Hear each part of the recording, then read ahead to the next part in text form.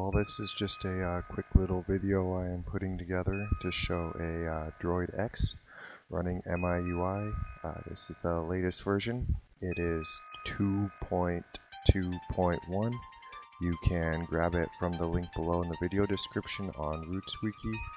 Uh, it's pretty sweet. So I'm just going to kind of show you how I got mine set up right now just real fast. And I'm going to run it through a benchmark test. Now, mind you, this first test, it is also parsing video while um, it's running the benchmark, so obviously it's quite a bit slower than what it normally is. But on the video, you will see it gets very close, or scores very close to a uh, Samsung Galaxy Nexus. This is mostly because I do have it running at this point with a uh, overclock at 1350, and it is running the smartass version 2 governor. Uh, now, I did also record another video just using my webcam real fast without it capturing on the screen.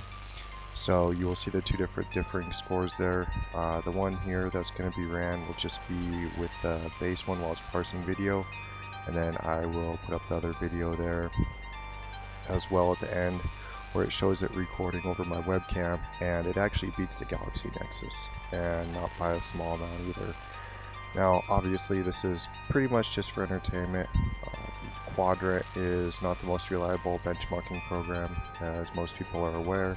It is a synthetic benchmark, but mostly just as a proof of concept, just to show that this phone, even though it is uh, two years old and still a single core, can still pretty much rock it out.